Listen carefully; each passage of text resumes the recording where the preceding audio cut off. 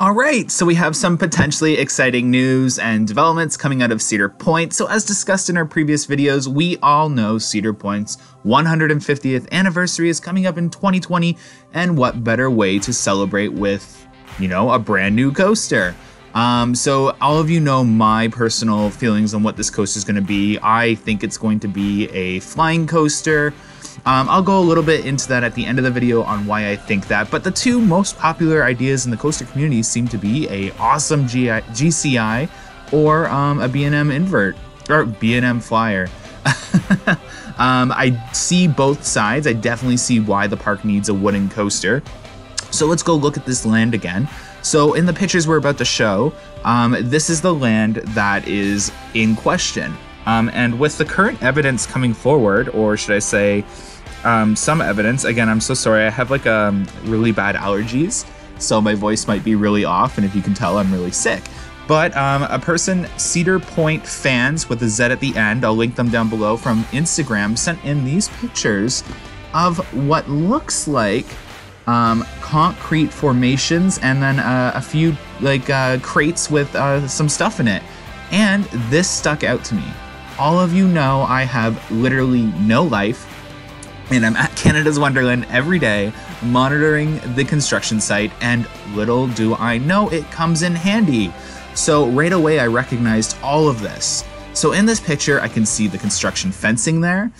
I can see the crates that um, are on our site, and I can see the molds for what typically are footers. All of this rings a bell. It looks super familiar. I can even see the wood in the back behind the truck that they cut into um, smaller pieces to hold the moldings into place while the cement or concrete dries.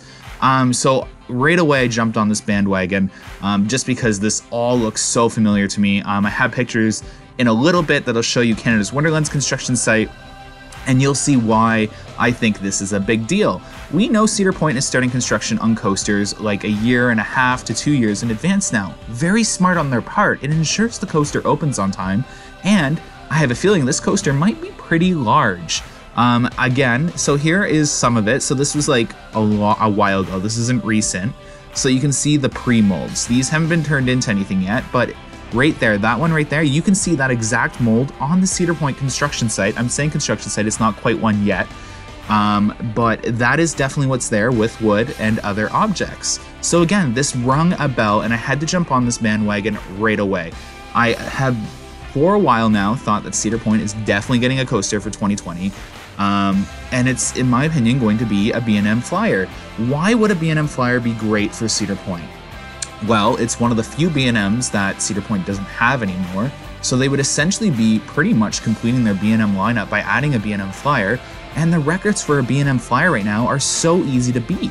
And uh, it wouldn't cost them too much, I, I, again, too much. It would cost a lot to build a B&M Flyer, but to beat the records, it's not like Steel Vengeance level of like costs. Um, I can only imagine what that coaster costs to build.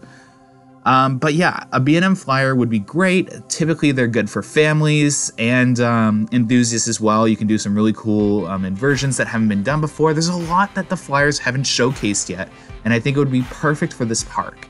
Now, I am going down the B&M Flyer route because the construction site, or what's there so far, again, it's not quite a construction site yet, looks similar to that of the B&M construction going on at my home park, Canada's Wonderland.